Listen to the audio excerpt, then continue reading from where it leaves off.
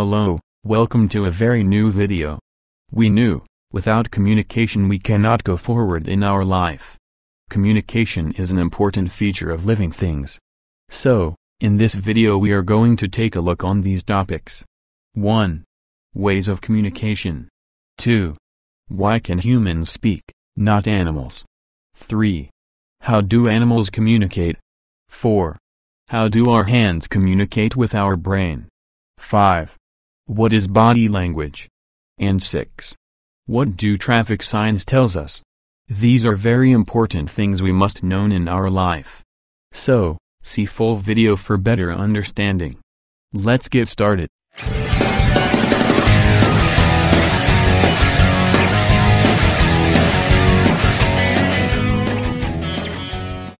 One. Ways of communication. There are a lot of ways to communicate, speaking, singing, clapping, hooting. Even animals communicate with one another, in ways different from the humans. Only humans can express their thoughts and feelings in words because of our superior brain. Both humans and animals also communicate through body language. Sometimes, we don't use words but make gestures like traffic signs or simple movements of the hand in order to communicate. 2. Why can humans speak, but not animals? A lot of organs such as lungs, larynx, mouth, pharynx, tongue, teeth, and brain participate in the speaking process. Although animals possess all these organs, their structure is different from that in the humans.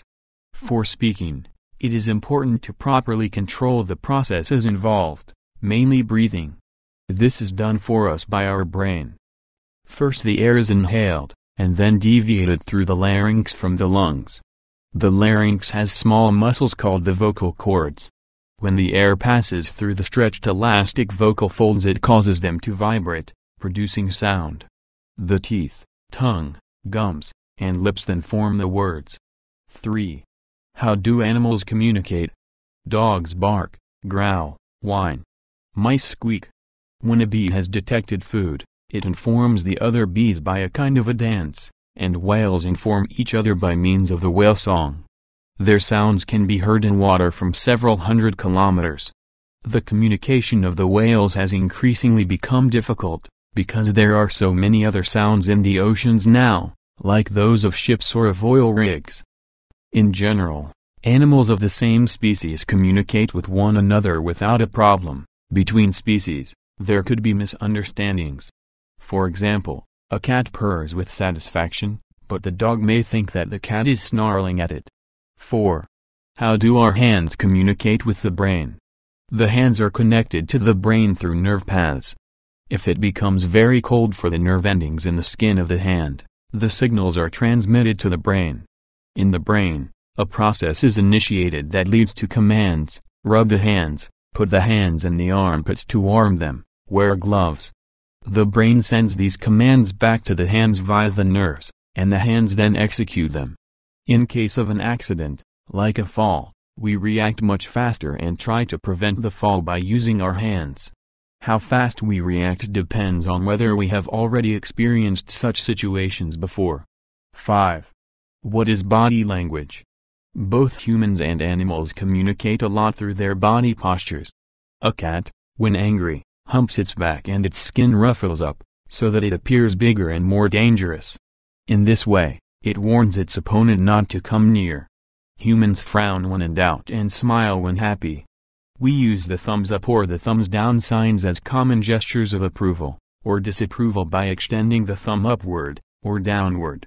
We also make use of a universal sign language. We know what an index finger on the lips or a waving hand is trying to tell us. But watch out, signs do not mean the same all over the world. Here is an example. If you make an O with the index finger and the thumb, it means OK in USA, but at other places it is an insult. 6. What do traffic signs tell us? On many signs there is a text telling us what to do, exit, diversion, and parking. People who cannot read the text of the signs, can understand them through the figure or picture. For instance, the shape of the arrow on the signs for exit, helps understand the direction of the exit. Some signs convey information by means of a picture, pedestrian crossing, and play street are some examples.